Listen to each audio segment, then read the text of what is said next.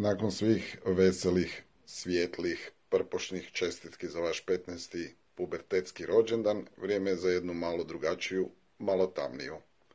U svakom slučaju, želim vam da ostanete svoji, da radite posao kao što ste ga radili do sada, jer jedan takav neovisan medij potreban je Hrvatskoj.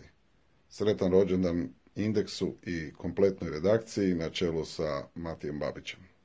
Neka vam je sretno i još barem sedam puta toliko.